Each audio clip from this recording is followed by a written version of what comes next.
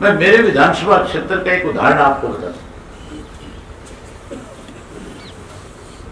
जब मैं विधानसभा के चुनाव से पहले लोगों से मिलने गया था तो मेरे यहाँ भी इस किस्म की चर्चा चल रही थी कि शायद अभय सिंह जी अब की बार किसी दूसरे विधानसभा क्षेत्र से चुनाव लड़ेंगे।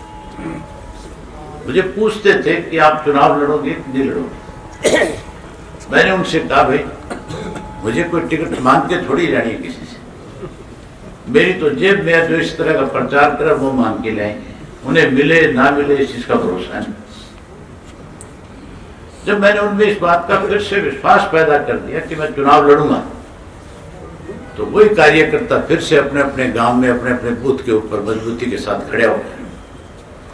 ना केवल मजबूती के साथ खड़ा हुआ, बल्कि उसने ये फैसला कर लिया कि कोई ज़ोर लगा ले। बीजेपी की तरफ़ से बहुत कोशिश करी गई कि मुझे किसी तरह से चुनाव हराया जाए। देश का प्रधानमंत्री भी गाँव में आकर के जनसभा करके गया।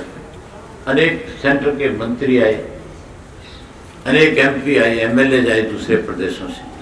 उन्होंने बहुत ज़ोर लगाया। लेकिन हमारा जो कार्यकर्ता था, उसने भी एक फैसला कर लिया।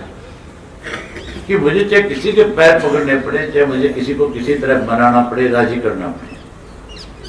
मैं हर हालत में, मेरे बूथ पे, मेरे गाँव में चुनाव जिताने का काम करूँगा। उसी का नतीजा है कि जहाँ पहले मेरी हार जीत पे सट्टा भाजपा के पक्ष में था,